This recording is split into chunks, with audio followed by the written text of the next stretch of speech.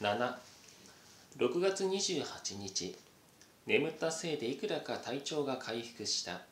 病の症状はすっかり収まっていたので起き上がってみた。夢の恐怖が消えずにビクビクしていた。明日になればマラリアの症状がぶり返して動けなくなるだろうと思った。今のうちに何か食べて体力を養う必要があった。とりあえず大きめの角瓶に水を入れベッド脇のテーブルに置いた。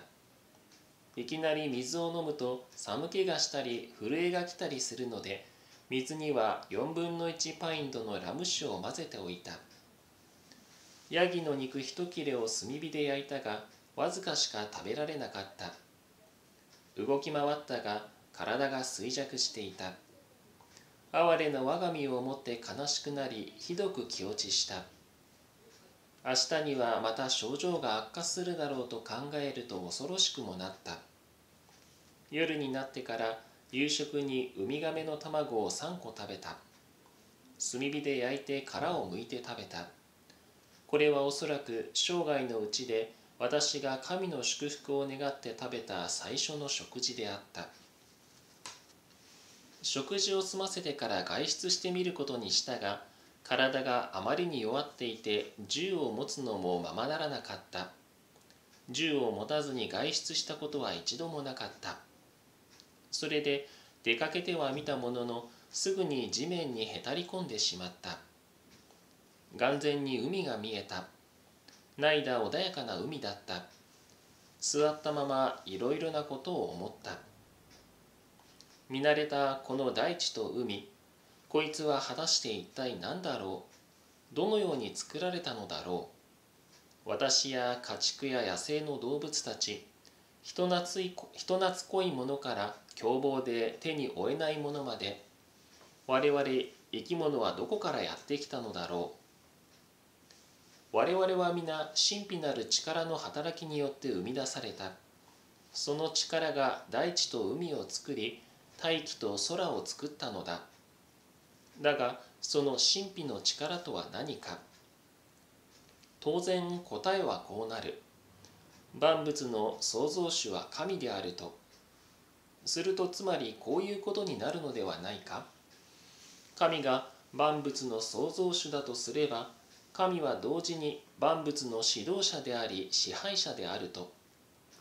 万物を生み出した力は万物を指導し支配する力を持つに違いないからである。だとすればこの世界に起こることで神が預かり知らぬことはなく全ては神のおぼし飯ということになる。神が何もかもご存知だとすれば当然神は私がここにいて悲惨な目に遭っていることを知っている。全てが神のおぼし飯だとすれば私がこんな災難に遭っているのも当然神の意志だということになる。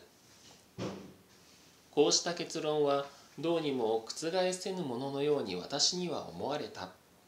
するといよいよこう確信するようになった。私の災難は神のおぼし飯でありこんな惨めな思いをしているのも神の定めなのだ。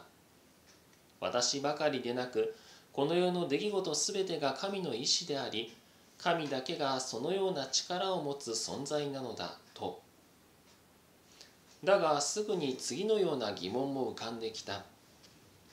なぜ神は私をこのような目に遭わせるのか。こんな扱いを受けるなんて私が何をしたというのだ。この疑問に対し私が神を冒涜でもしたかのように両親が割って入った。両親の声が次のように聞こえてきた。この悪党が私が何をしただと愚行を重ねた人生を思い出せ。そしてお前が何も何をしなかったのか考えろ。なぜとっくの昔に死んでいないのかよく考えるんだ。ヤーマス沖で溺死しなかったのはなぜだ。船がサレの海賊に襲われた時お前が死ななかったのはなぜだ。アフリカの海岸で野獣に食い殺されなかったのはなぜだ？そして今度のことでも仲間の船員が皆溺れ死んだというのにお前だけが助かったのはなぜだ？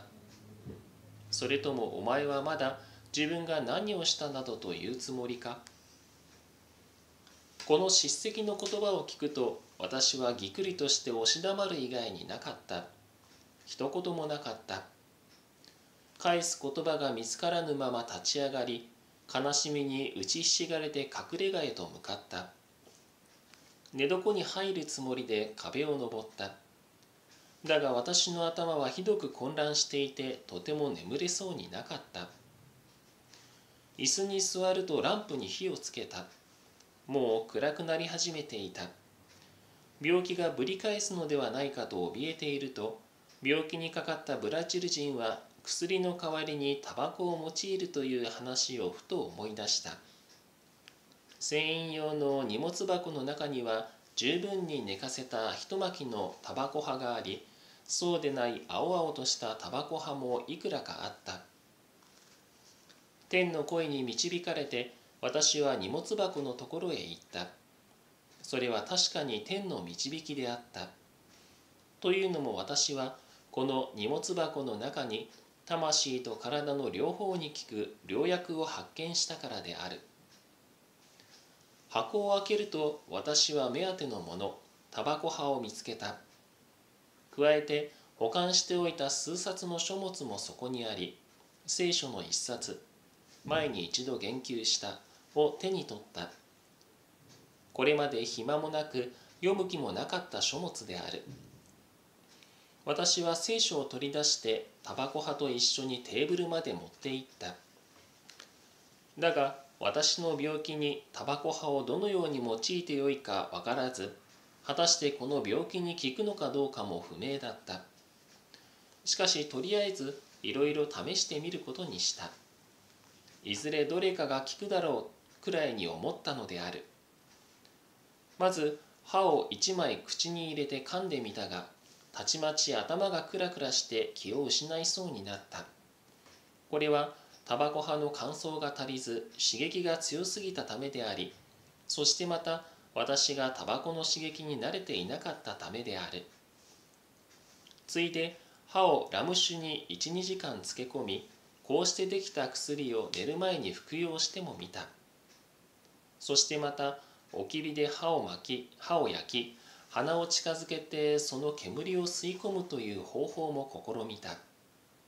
これを熱気と息苦しさで我慢できなくなるまで続けるのである。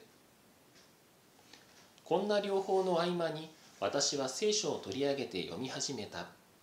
だがその時はタバコで頭がひどく朦朧としていて読み続けることができなかった。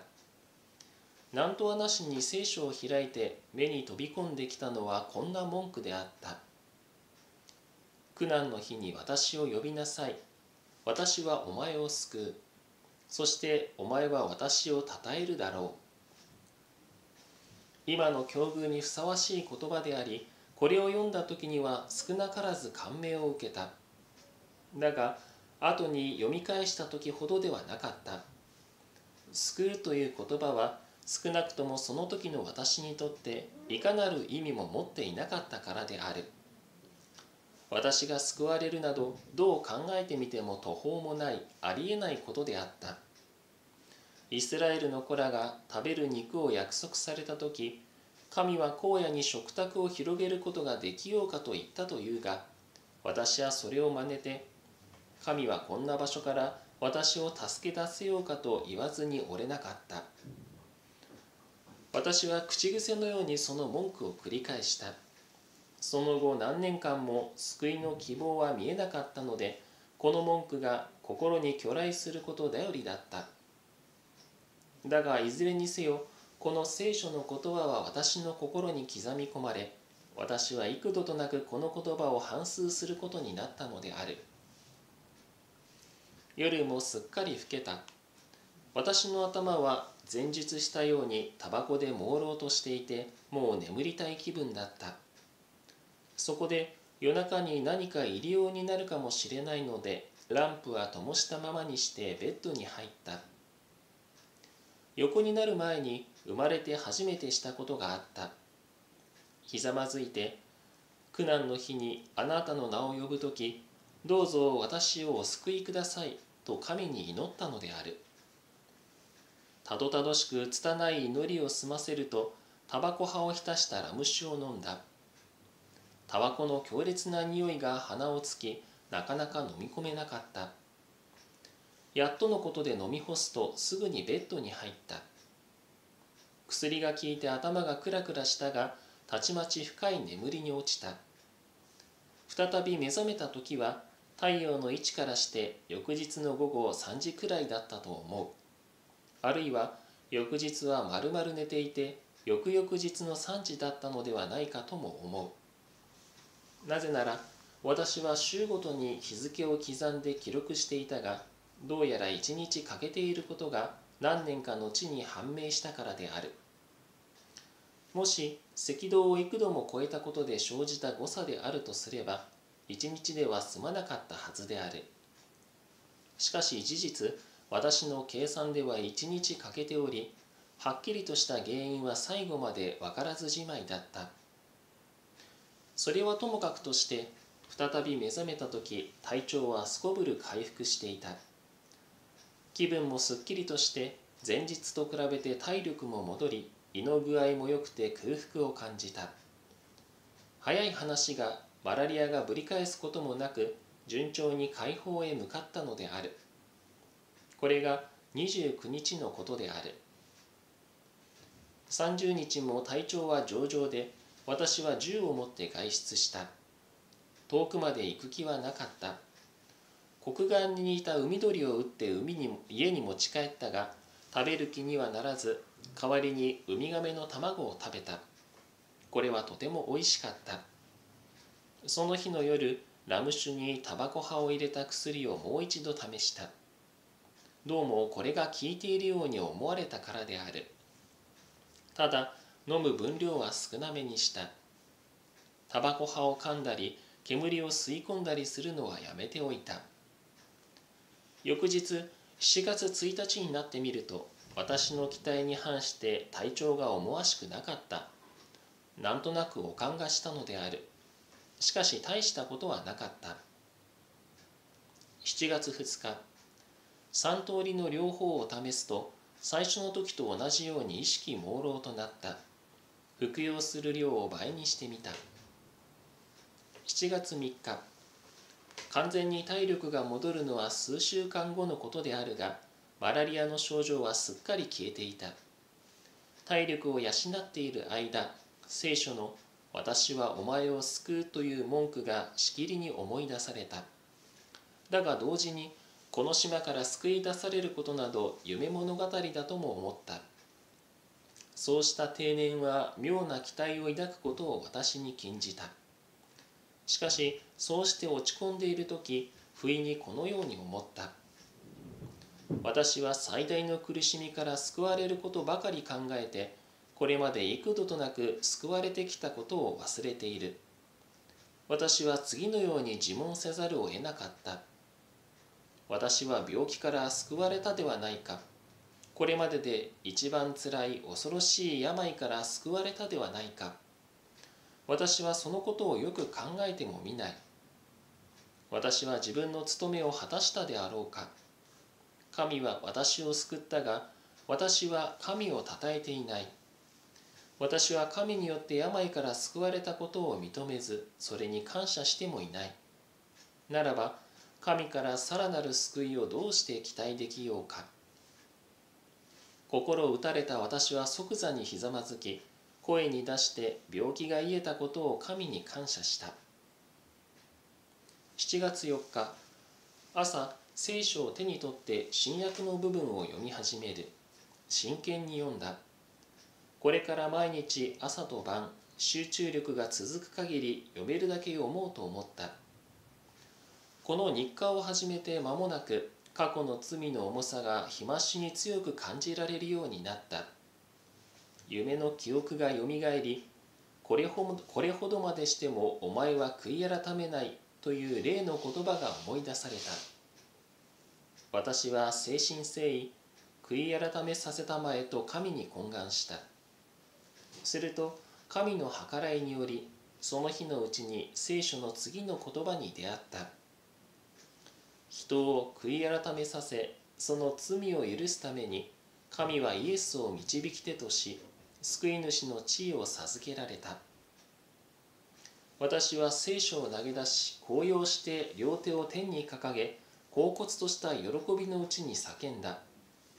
ダビデの子イエスよ導き手であり救い主であるイエスよどうか我を悔い改めさせたまえ。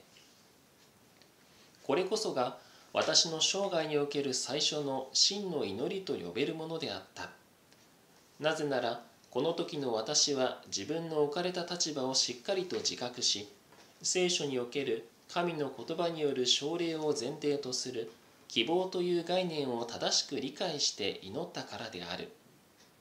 この時から私は神が聞いていてくださるという希望を持つようになった。今や私は私を呼びなさい。私はお前を救うという言葉を以前とは違った意味に解釈するようになった。かつての私は救われるといえばこの島における監禁状態からの救出のことしか頭になかった。私はここにいて自由ではあったがこの島は私にとって牢獄に違いなくそれも考えうる最悪の牢獄であった。だが今聖書の文句は別の意味を持ち始めた。これまでの人生を振り返る時私にはそれが非常におぞましいものと映り犯した罪は救いようのないものと思われた。私の魂が求めたのはこの罪の重圧から逃れ心の平安を取り戻すことであった。もはや孤独は苦ではなかった。孤独から救われたいと祈りはしなかったしそんなことは考えもしなかった。罪の重圧と孤独の苦しみとでは比べようがなかった。ここでこんなことを書くのもこれを読む人々に次のことを言いたいがためである。つまり物事の真の意味を知るようになれば苦しみからの救済よりも罪からの救済の方がはるかに祝福すべきことだとわかるであろうと。だがこの話はこれくらいにして日記に戻ろう。生活は愛も変わらず惨めなものには違いなかったが私の心は平安を取り戻し始めた。絶えず聖書を読み神に祈っていたため私の心はより工事の物事に向けられるようになった。そしてかつて味わったことのない大いなる心の安らぎを得た。健康と体力も回復したので必要なものを揃えた後できるだけ規則正しい生活を送るように心がけた。7月4日から14日まで私は銃を手に島を歩き回って過ごした。歩き回ったといっても病後の回復に合わせて無理をせず毎日少しずつ歩いた程度である。私がどれほど病気で体力を奪われ衰弱していたかとても他人には想像がつかないと思う。病を克服するのに私が用いた療法はとても新規なものでこんな方法でマラリアを治療した例はまずあるまい。私が試してうまくいったからといって他人にこの療法を勧めることはできない。病が治った一方体が衰弱したことも事実だからだ。しばらくの間筋肉や手足に頻繁に痙攣が起こった。この経験から学んだことは雨の日に出歩くことは極めて健康に悪いということだ。とりわけ嵐やハリケーンの時の雨はいけなかった。寒気に降る雨は大抵そんな嵐を伴うので9月や10月に降る雨以上に危険であった。この不幸の島で暮らして早10ヶ月が過ぎここから救い出される見込みはゼロと言ってよかった。この島に人間がかつて足を踏み入れたことはないに違いない。私はそう信じて疑わなかった。とりあえず住む場所はそれなりに確保できたので今度は島を隅々まで探検してまだ知らぬ食べ物があるか調べてみたいと思った。島の綿密な調査に着手したのは7月15日である。私はまず以前に筏につけた入り江に住んでいる小川を遡ることから始めた。3キロほど上流に行くと海水もここまでは上がってこないことが分かった。そこまで来ると川幅も広く狭くなり流れる水も澄んだ真水であった。だがあいにくちょうど寒気に当たっていたので場所によっては水量が大変乏しかった。水の流れが途絶えた場所もあった。この小川の岸辺には美しいサバンナつまり平坦で草の生えた湿地がそこここに見られた。川の水は氾濫したとしても山側へ向かう傾斜地までは来ないようでそこら中に青々とした太く硬い茎を持つタバコが育っていた。その他私がその名を知らぬ見たこともない植物もいろいろと生えていた。利用法を知っていれば役立ったかもしれないが私には結局分からずじまいであった。私はキャッサバの根を探した。ここと同じような気候で暮らしているインディオたちはこのキャッサバの根でパンを作る。だが見つからなかった。巨大なアロエの木も見かけたがその時は何の木かわからなかった。サトウキビもあったが手入れされていない野生種なので食用にはならなかった。最初の調査ではこの程度の発見で満足し私は帰途に着いた。帰る道すがら手に入れた植物や果実の効能や栄養を知るにはどうすればいいだろうかと考えた。しかしうまい考えは浮かばなかった。ブラジルにいた時植物に注意を払うことがなかったので野生の植物についての知識が私にはほとんどなかった。今のような苦しい状況で役立ちそうなことを私はほとんど何も知らなかった。翌日翌日の16日も同じ道を歩いてみた。昨日よりも遠くまで行ってみると小川とサバンナが次第に姿を消し木々が多くなった。さまざまな果実を目にするようになり地面にはたくさんのメロンが転がり木々にはブドウのつるが巻きついて実をつけていた。ブドウは熟れてちょうど食べ頃だった。この発見に私は驚き狂気した。しかし同時にかつてアフリカのバーバリー地方に上陸上陸した際イギリス人奴隷がブドウを食べて赤痢と高熱で死んだことを思い出した。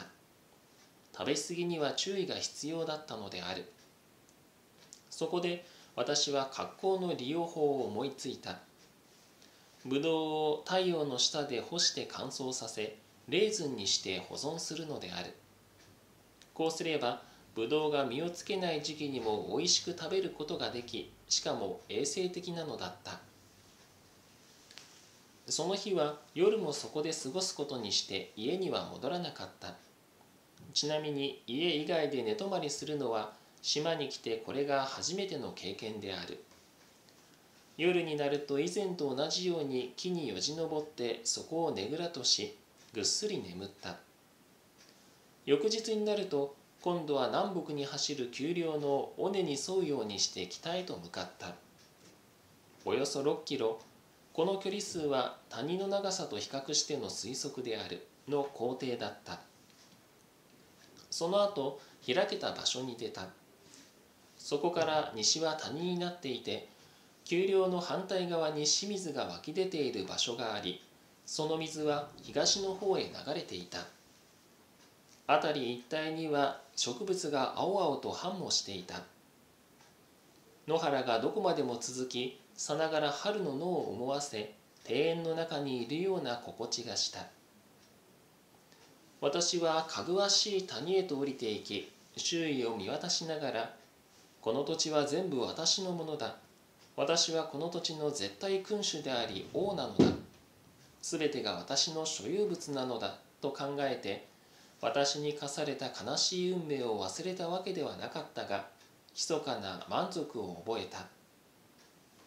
この土地を財産として譲渡できるとしたら私はイギリスの荘園領主たちのように子孫に相続させ他人の手に渡らないようにするだろう。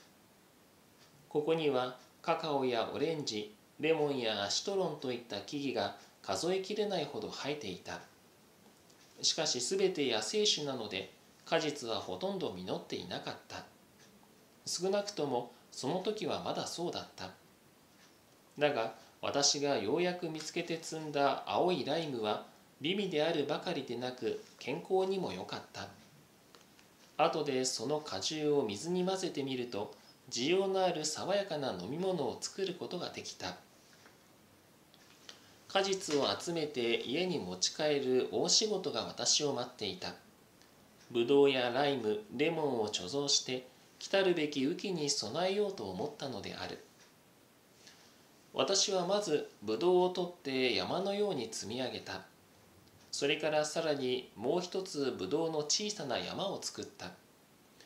この他にライムやレモンの山もできた。ひとまずそれぞれの果実を少しだけ持ち帰ることにして残りの果実は今度来る時に袋。なければ自作の入れ物を持ってきて運ぶことにした。この探検の旅は3日間続きその後私は家に戻った。家とはもちろん私のテントおよび洞窟のことだ。だがあいにく家に帰り着いた時ぶどうはすっかりダメになっていた。果実はどれもよく売れてたっぷり果汁を含んでいたのだが重みでぶどうは潰れたり傷んだりしてもはや食べられなくなってしまった。ライムは無事だったけれども持ち帰ったのはわずかな量に過ぎなかった。翌日の19日小さな袋を2つ携えて残りの果実の回収に出かけた。だが谷について仰天してしまった。立派なぶどうの山は崩れ無残に踏み荒らされていた。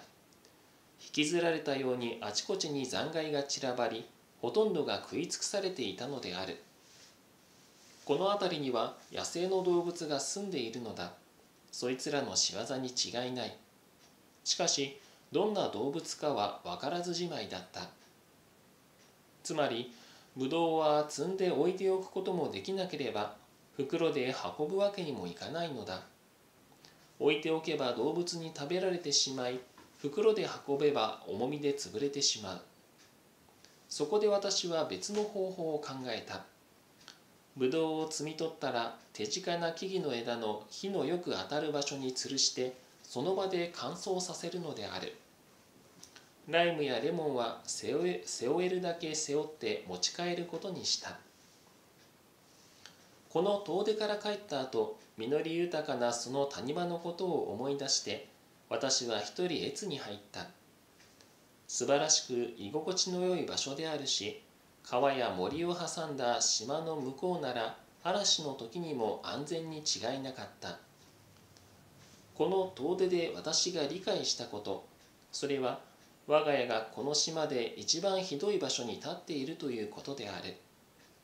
そして真剣に引っ越しを考えるようになりできればあの豊穣な谷間のどこかに今と同じくらい安全に暮らせる場所はないかと探し始めた。この引っ越しのアイデアはずっと私の頭の中にあり一時はその計画に夢中と言ってよかった。あの谷の居心地の良さに私はすっかり魅了されていたのである。だがよくよく考えてみると戸惑いも生まれた。私は今海の近くに住んでいるがここなら歓迎すべきことが起こる可能性はゼロではなかった。私と同じような不運に見舞われた不幸な人間がたまたまこの島へ流れ着くことだってあり得る。そんなことが起こる可能性は万に一つではあるがゼロではないのだ。対して島の中心部の丘や森へ引っ越すことは自ら進んで囚人となることを意味した。そうすれば起こりそうもないことが絶対に起こらないことになってしまう。そう考えるとやはり引っ越さない方がいいと結論するしか他ないのだった。しかしその谷の魅力に取りつかれた私は多くの時間をその地で過ごすようになった。7月の残りの日々はずっと谷で暮らした。今述べたように結局思い直して引っ越しは断念したのであるが代わりにささやかな小屋を谷に建て周囲を頑丈な柵で二重に囲んだ。柵の杭はしっかり地面に打ち込み高さは私がギリギリ越えられる程度にし外側の柵と内側の柵の間に小枝を詰めた。出入りには海辺の家と同じようにはしごを使うことにした。こうして何の心配もなく2泊も3泊もできる環境が整った。私は海辺の自宅と田舎の別荘2つの家の所有者になったわけである。この田舎の家が完成したのは8月の初旬のことであった。柵が完成して仕事が楽しくなってきた頃雨季が到来した。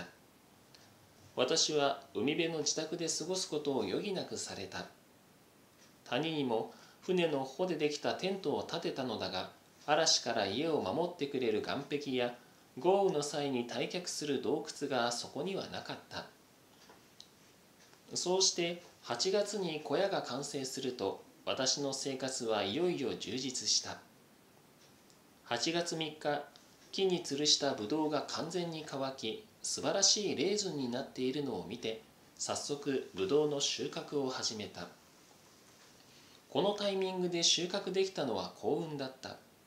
もう少し遅ければ雨にやられて冬の食料の大半を失う羽目になるところだった。ブドウは大きな房のものが200以上もあった。ブドウの収穫が終わりその大半を洞窟に運び終えた頃雨が降り出した。その日は8月14日であったがその日以降ずっと雨模様となりこれが10月の中旬まで続いた。時折激しく降ることもあり何日間も洞窟から出られないこともあった。この雨季の間私を驚かせた出来事があった。なんと家族が増えたのである。飼い猫の一匹が逃げ出し何の音沙汰もなかったので死んだのではないかと心配していたところ8月の末頃にひょっこりと帰ってきた。そのこと以上に驚いたのはその猫が3匹の子猫を連れていたことである。前に一度山猫と私は呼んでいたがを銃で撃ち殺したことがあったがその山猫はヨーロッパ産の猫とは全く別種の動物であった。やってきた子猫は親猫と同じ家猫でありしかも私の飼っている他の2匹はどちらもメスなのだ。これを考えてみると実に不思議というほかなかった。だがこの3匹が子供を産んで増え私は猫たちに手を焼くようになりついには害獣か野獣も同然にそのうち何匹かを殺し残りの猫たちも家から追い出すしかなくなってしまった。8月14日から26日まではずっと雨の日が続き外出できなかった。雨が原因で体を壊して以来私は雨に当たることがないよう用心していた。しかし家にばかりいたので食料はだんだん乏しくなる一方で二度ほど思い切って出かけなければならなかった。一度目はヤギ一頭を得て二度目これは26日のことだ。の時は大きなウミガメを発見した。このウミガメは願ってもないごちそうだった。食事の献立は朝食に一房分のレーズン昼食に焼いた至極残念なことに煮るための道具がないのだ。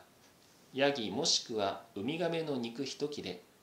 そして夕食にはウミガメの卵を2個か3個という具合になった。雨で洞窟に閉じ込められている間毎日23時間は洞窟を広げるために働いた。片側を掘り進めて岩山の外に通じるようにしそこに出入り口となる扉を設けた。この出入り口は塀の外に位置し以後はこの扉を使って出入りするようになった。だが出入りがしやすくなったことで不安も覚えた。以前は完全に外界から隔てられていたわけであるが今では開かれていて何かが侵入することも容易であり無防備であると感じた。しかしその一方恐れるべき生物がいる気配もなかった。ヤギより大きな動物をこの島で見たことはなかったのである。